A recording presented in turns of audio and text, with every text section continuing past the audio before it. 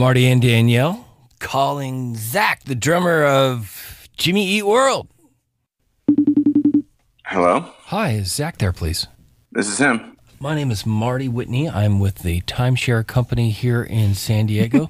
uh, Kelly gave us your number. She said you're interested in some real estate and oceanfront property. Yeah, maybe. It just depends. Depends on if I can get a good deal. Zach, what's going on, man? It's Marty and Danielle at 91X San Diego. I'm good. I'm good. How are you guys doing? We're super stoked that you guys are coming back.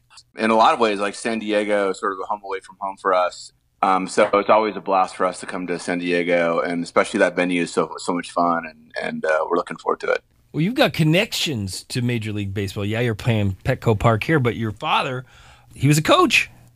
Yeah, he actually played a little bit in the major leagues, and then he also coached in the major leagues.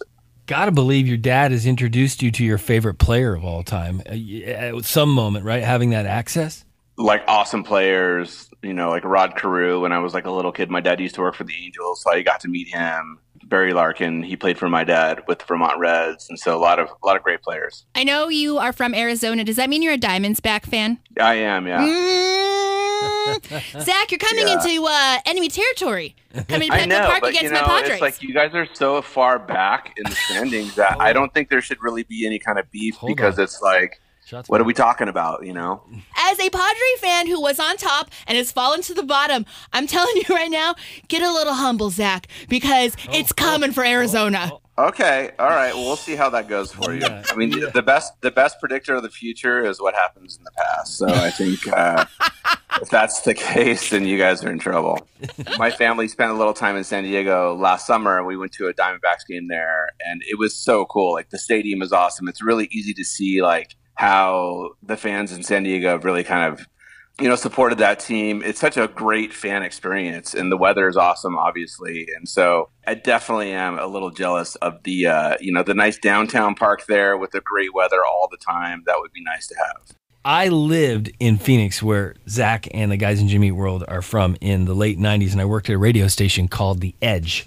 And my first dealings with the band, but how far we've come mm-hmm. 30 years later, and you guys are still out touring, making music, and exciting your fans. I got to believe that there's been a really bougie moment that you've had.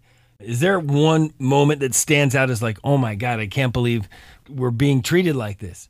We came out with two major label albums on Capitol, and both of those albums did not do well.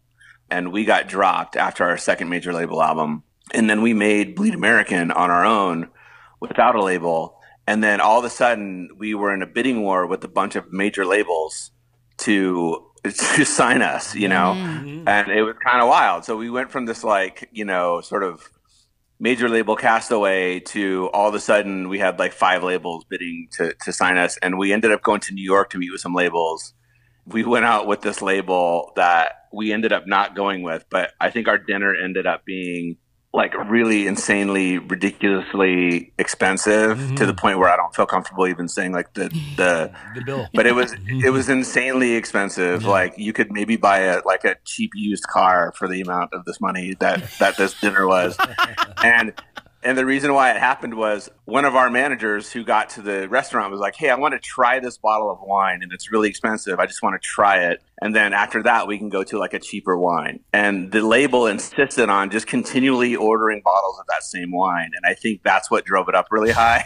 and so that was kind of the most opulent, exorbitant experience of the band's existence. And we felt very kind of like embarrassed. And we also felt bad that we ended up going with a different label. And the twist at the end. Zach, he plays drums for Jimmy Eat World, 30 years of making music, longtime friends of the radio station. Looking forward to seeing you, Manchester Orchestra, Gallagher Square at Petco Park. It's this Friday, July 21st with 91X. Zach, thanks so much. Yeah, thanks for having me. Looking forward to being there. Yeah, bro.